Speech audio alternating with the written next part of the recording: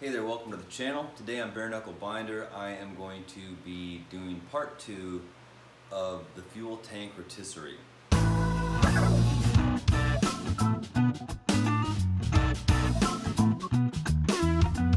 This truck is a prime candidate for a gas tank clean. When I got it, the gas tank was full of varnish from old gas. We removed the fuel tank. We have a temporary tank in the bed. The original fuel tank, when I pulled it out of the bed of the truck, where it had been sitting for 12 years, this thing was full of gallons of rusty, crappy water.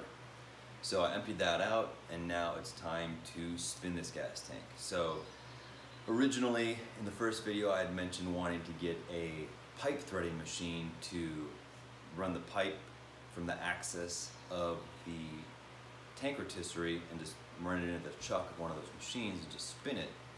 However, I haven't been able to put my hands on one of those machines, but I was able to borrow a cement mixer from my friend in Austin. So I brought that up here to Wisconsin, and I'm about to spin this tank all day. So, first things first, I have to build some stands for this thing to just sit by itself and run the Jankety sawhorses I used in the first video are not gonna cut the mustard for this. So I have a transfer case stand that I used for my army truck's transfer case, which no longer has a purpose. So I was going to brace that up and use it for a stand. We're just going to use some scrap and some stuff we have laying around just to make this thing and get it going. So let's get started.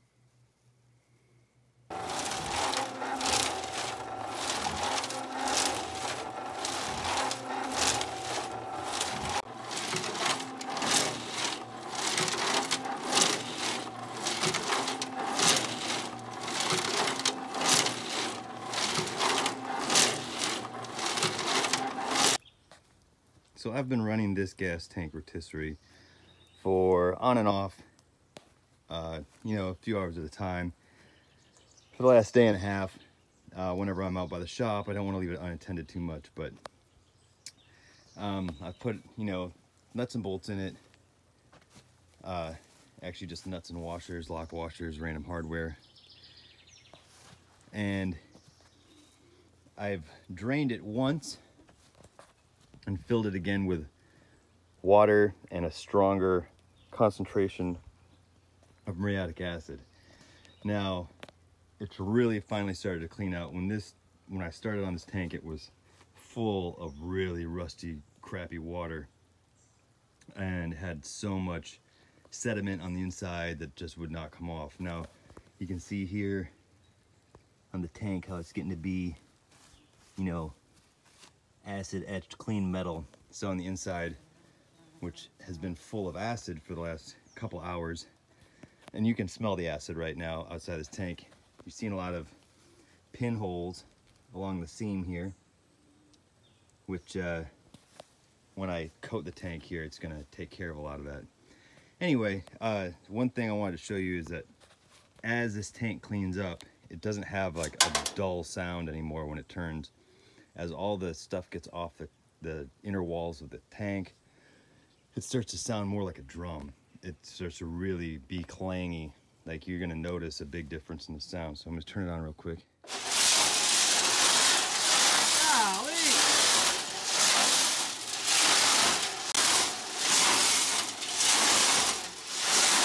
Since it's been running like this for a while, it sounds pretty clean on the inside. Here, look at that clean metal there. And all these drips along here, along the edge of this, those are from pinhole leaks on the seam, which they're probably rusted through and then the acid ate through the, the old rust. Another thing I wanted to point out is these threaded rods, what these are doing is they're acting like spacers to stabilize these these boards because unlike the other gas tank that these inboards were actually, you know, made for. These ones were flexing a lot more with that, angle iron on the inside there. And this tank is not exactly square, so when it turns, it was moving a lot. Uh, so I used those and I kind of just used them to push the edges out by putting a nut on each end. Uh, you can see that I moved a little bit on this one, but on the bottom one there, they're still pushing out on that board. Uh, I'm gonna start rinsing this thing out uh, and dumping the disgusting solution that's in this thing right now. Uh, I think I'm going to dump it into a five gallon bucket, a plastic five gallon bucket and take it and dump it on some stumps I'm trying to get rid of.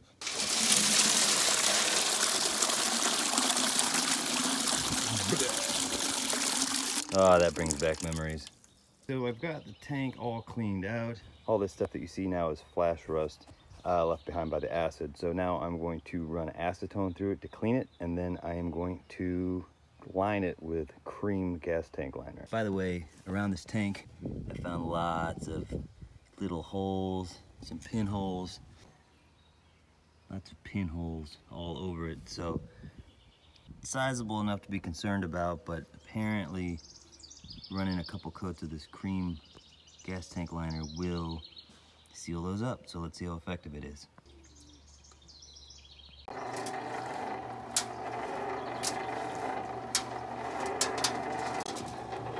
I also have this jack stand down here just so I can get the angle of this tank so it runs down to the small end so I get everything covered. All right, so now I've run acetone in this thing for about, I'd say 10 minutes. At this point, I'm just gonna let it dry out I'm gonna let it air dry with acetone. That's not gonna take too long. And then we're gonna start running the Kreem in it.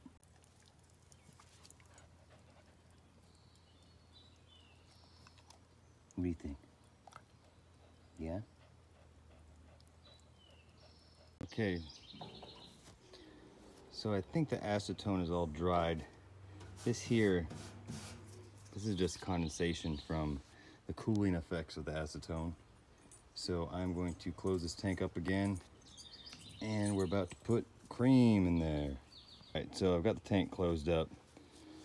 Got the Kreem here. Now on the directions, it's hard to read, But for small tanks, one to five gallons, use one pint. For larger tanks, use one quart per 20 gallons.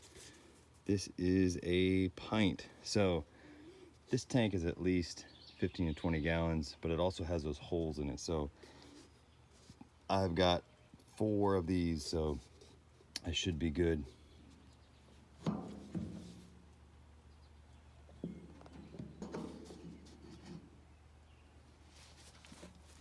Next.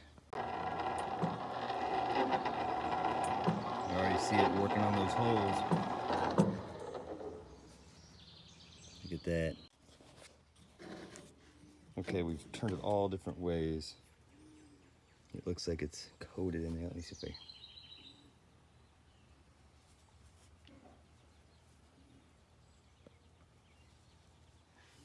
So I'm about to drain this out into a funnel and try to keep it.